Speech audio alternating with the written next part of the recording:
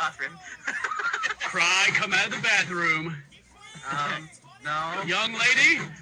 No. Come out of that bathroom right now. Me, Ken. Come out of that bathroom right. I'm, this is your father speaking, and you will respect me in my house. oh, you the face the door. Oh, I'm sorry, baby. I didn't mean it. I didn't mean it. Oh, no. Come back. This was realistic teenager.